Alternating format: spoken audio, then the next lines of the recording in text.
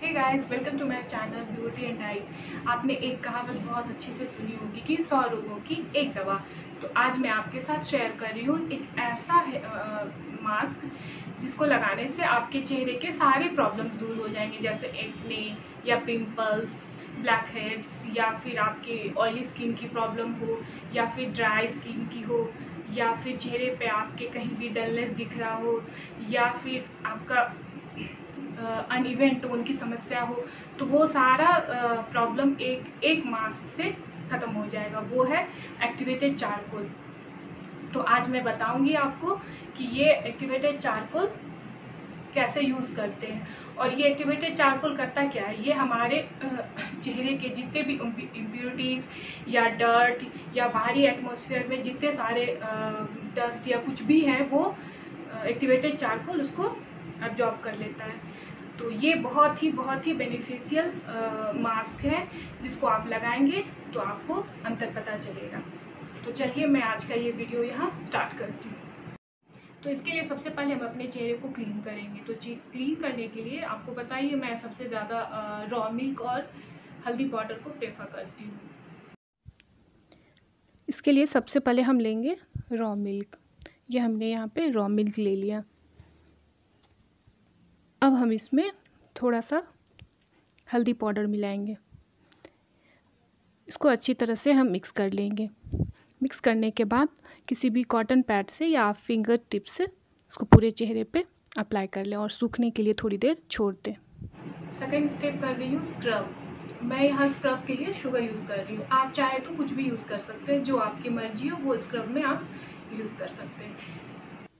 Scrub करने के लिए मैंने यहाँ पे लिया है क्रस्ट शुगर। ये आप क्या करेंगे कि कोई भी नॉर्मल शुगर लेके उसको आप किसी भी चीज़ से क्रश कर लें, फिर यूज़ करें। डायरेक्ट शुगर को नहीं यूज़ करते हैं वरना ये थोड़ा रफ़ होता है स्किन के लिए।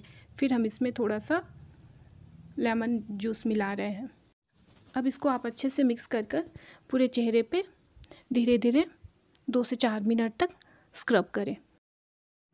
स्क्रब करने के बाद आप ये एक्टिवेटेड चारकोल फेस पैक फिर लगा लें। अब लास्ट में हम चारकोल पैक बना रहे हैं। इसके लिए हम चारकोल एक्टिवेटेड चारकोल ले लेंगे। इसमें हम थोड़ा सा मुल्तानी मिट्टी अपने हिसाब से मिला लेंगे। आप चाहे तो मुल्तानी मिट्टी के जगह पे ओट्स भी डाल सकते हैं। उसके बाद इसको मैं रोज़ वाटर से मिक्स कर रही हूँ।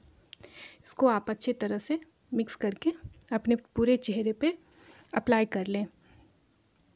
ये एक्टिवेटेड चारकोल क्या करता है कि जितने भी चेहरे के डर्ट, टॉक्सिन या हैवी मेटल या कोई भी केमिकल या कोई भी पॉइज़न रहता है तो वो उसको अट्रैक्ट कर लेता है और चेहरे से जब हम धुलते हैं तो ये सारे चीज़ ये रिमूव कर देता है।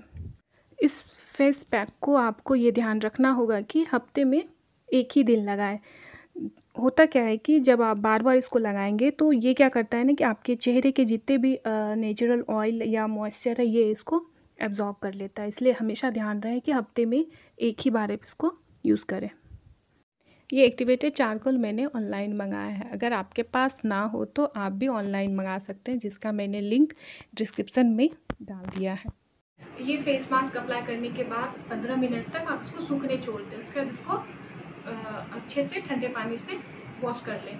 हाँ इसमें लेकिन एक चीज़ याद रखना है, आप जब वॉश करें तो उसके बाद टोनर ज़रूर लगाएँ, चाहे आप मार्केट की यूज़ करें या फिर जो मैंने टोनर बनाया है, आप वो भी उसको इसमें यूज़ कर सकते हैं, जिसका मैंने लिंक डिस्क्रिप्शन में डाल दिया है।